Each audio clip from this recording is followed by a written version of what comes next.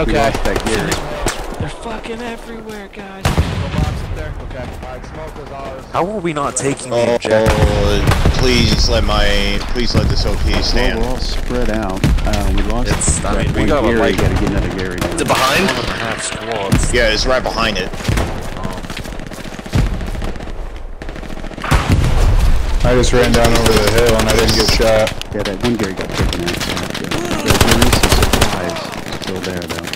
But if you want to, one thing you can do is you just keep dropping supplies in between, you know, and things like that. You just kind of keep putting those supplies. When you think it's, yeah, like, like you did that one supply by the bridge, you just kind of keep. Right on my body.